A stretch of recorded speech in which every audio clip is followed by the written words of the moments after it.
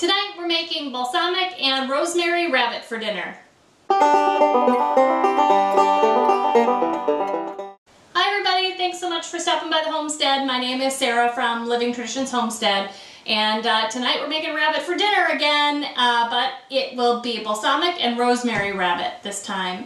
Uh, now over the summer we uh, filmed a pretty extensive how-to series on how to raise rabbits for meat. And uh, during that series, we kept getting uh, requests from our viewers uh, to do rabbit cooking videos. And uh, we actually love rabbit on our homestead, so we put together actually our top 25 family recipes, our favorite rabbit recipes, and we created a cookbook.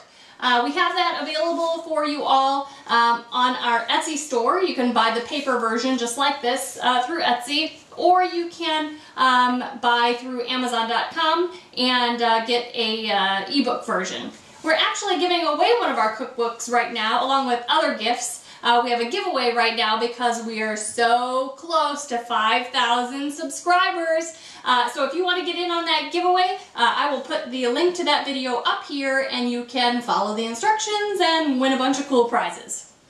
Uh, so we're making rabbit tonight. I'm excited to share this recipe with you. It is so easy. I am going to follow um, my three rules for cooking amazing rabbit. Uh, those are to cook it low and slow, to cover it with a sauce, and to cover it with foil while you bake it.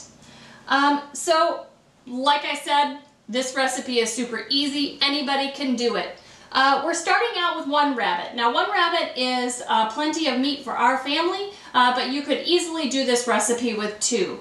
Um, I've cut up all of the rabbit pieces already, and I actually have a really good video about how to cut up your rabbit, and I'll put a link to that video up here. Now, uh, we're starting out very simply with uh, some chopped rosemary and some minced garlic. And I already have that in my little mixing bowl. Uh, and we're going to add balsamic vinegar. We're going to whisk that up.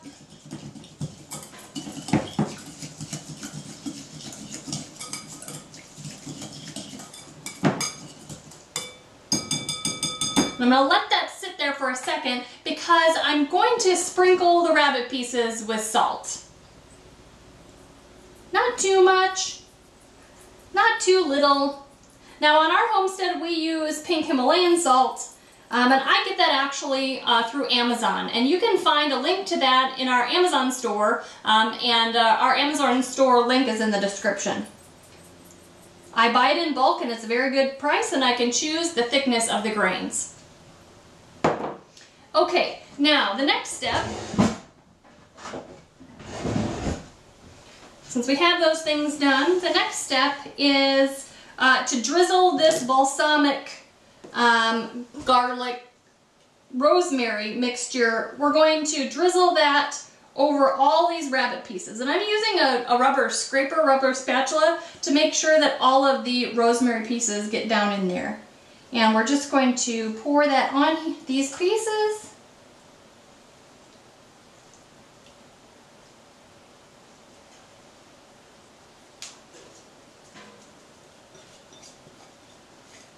Just like that. But I'll tell you what. This didn't cover the pieces like I wanted to, so I'm actually going to flip them over a couple times because I really want that, that vinegar, that balsamic vinegar uh, flavor on all sides of the rabbit. One thing I also didn't tell you um, is that before I put the rabbit pieces in this baking pan, um, I sprayed it with some olive oil. Uh, it's important for you to oil your pan, especially if you're not using a non-stick pan. Uh, we don't use non-stick pans. This one is actually like glass or Corningware or something like that. Okay, so this looks this looks great. Okay, so all the pieces and all of the uh, herbs are on there. Looks fantastic. Okay, the next step is we are going to drizzle over these pieces of rabbit with some olive oil. Now this will make it just taste wonderful and it will mix with uh, the balsamic vinegar and just make a really nice flavoring sauce that we can spoon over the rabbit later. The final step is we're going to sprinkle some crushed red pepper on top of all of these pieces as well. I'm going to go a little bit on the light side, lighter than I would probably want to, but we've got kids in the house and they are pretty sensitive. Okay, that's it. We just need to cover it and get it into the oven. We're going to bake this rabbit in the oven until the internal temperature is between 160 and 165 degrees.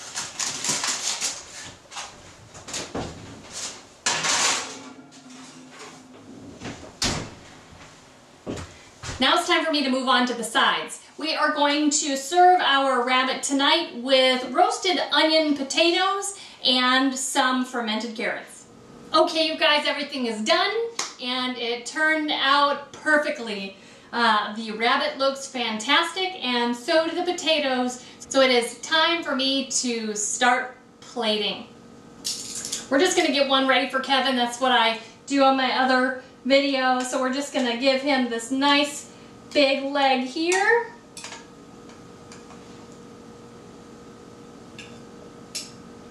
And we'll give him a nice little front leg too. Two pieces.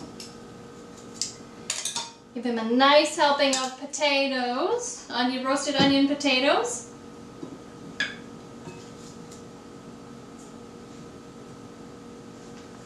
And a side of fermented carrots. There we go. Nice dinner. Family will enjoy it. And uh, that's what we have. I hope you guys try this. Um, if you want the full uh, recipe, you can pick up our cookbook on Etsy or on Amazon. Or you could win our giveaway and receive one in the mail with the rest of our prizes. Uh, you guys, I really appreciate you stopping by the homestead. Uh, if you haven't been a subscriber yet, go ahead and hit the subscribe button. Uh, give us a thumbs up. And hey, if you have something to ask or something to share, go ahead and use the uh, comment section below. Until next time, you guys, thanks so much for stopping by the homestead. Take care and God bless.